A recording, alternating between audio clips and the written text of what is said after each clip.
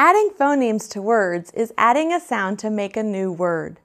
Add s to the beginning of cat to make scat. Adding sounds to the beginning or end of an existing word can make a new word. This skill will allow students to build their vocabulary and later comprehend or understand text. In this video, the teacher uses the strategy of hand movements as she says a word, adds a sound to the beginning or end, and asks students to say the new word together as a choral response.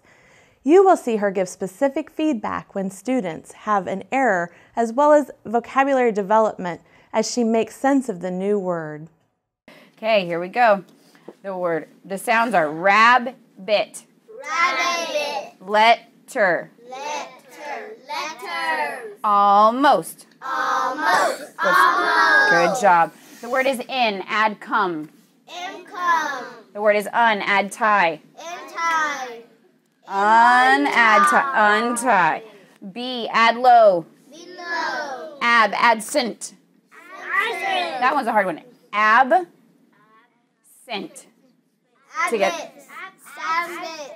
Absent.